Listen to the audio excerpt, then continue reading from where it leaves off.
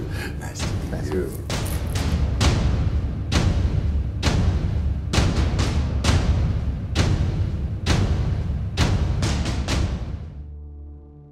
まず僕結構、えーシングルプレイのそのストーリーモードを先にまずプレイさせてもらったんですけどたくさんのキャラクターがこうもみくちゃになってしまってすっちゃかめっちゃかなこうチャンバラを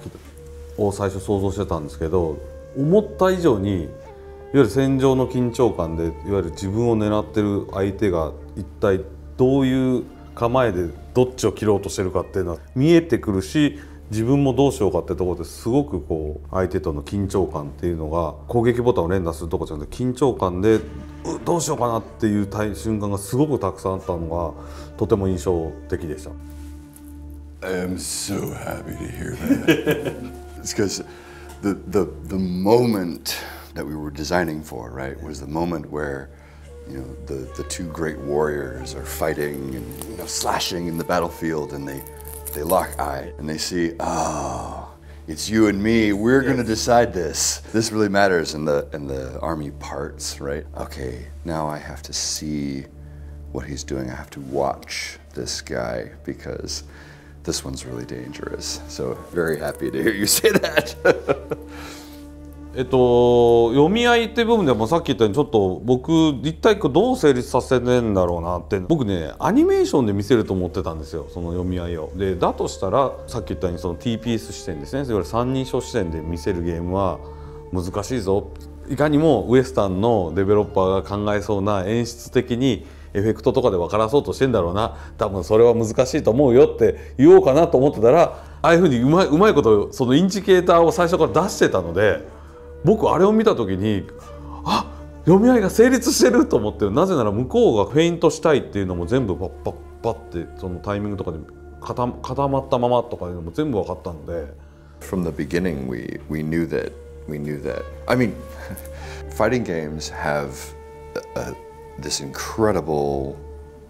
base of theory right underneath them right? I mean i don't have to tell you right? Like you guys know right? Yeah, you know this yeah, theory yeah, right? About yomi and about the, the the layers of prediction and all of this. And and we knew that that existed and we knew i, I have worked with that before. And so we knew when we began that that was going to be part of our solution that we were going to include that loop that that that sort of mind reading loop uh, in the core of the fighting in the core of the fighting game in fighters that that side on camera that 2d camera gives you perfect information right? It gives you it gives you you and your enemy have the same information and so the game is fair. This camera it's not perfect right? It's not perfect information and so we needed to compensate for that right? We needed to be sure that the game was fair for it to feel that way. So it was uh, from the very beginning it was going to be that way. I think it was uh, 一つその逆にここ格闘ゲームにすごい似てるなって思ったところがあって、まあ、僕対人戦より先にちょっとボットばっかりで対戦したんですけど特にデュエルみたいな感じになった時にまあ大勢の時もまあもちろんそうなんですけどどっちかっていうとデュエルになった時に結構そのストーリーモードの中で強い、えープシライバルがいて、まあ、非常に動きが良かったんで一生懸命ガードしてたんですけど、まあ、負けちゃ負けてしまったんですね。もうその時にちょっと思わずこうドンってこう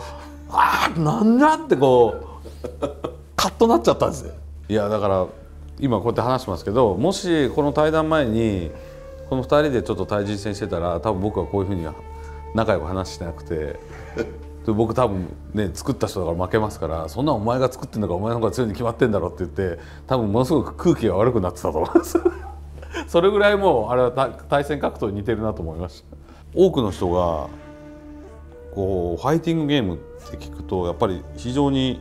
えー操作も難しく、えー非常に駆け引きが多い緻密なゲームってイメージを持っているのでその駆け引きをすごい大切にしてるんですよねってよく言われるんですね。でも実は僕は一番はそこではなくて意外とその操作した時に技を出してこう殴るだけでもまず楽し気持ちいいかどうかそしてそのつまり殴るだけでも気持ちいいイコール逆に言うと殴られた時に痛みを感じたりガードした時に重みを感じたりっていうプレイフィールみたいなところを僕は一番大切にしてます。It's and of, of course it's absolutely the same for us. It's uh, because you know it's true. It's just it's just a fact. The most important thing is does that controller, you know, or the keyboard does it does that device trigger in you the belief that you're doing this thing? Yes. And and for that to happen, right, you have to do all this work, right, to to make that animation snap and to make the to make that impact hit, right, and all the stuff you do with the camera and the effects and all that work to make that to make that blow land. It's it's a huge amount of labor and work, right? Um, we absolutely put the most time and energy into into that connection, that immediacy between the the the player and the and their character on screen. Absolutely. Yeah, thank you. Thank you.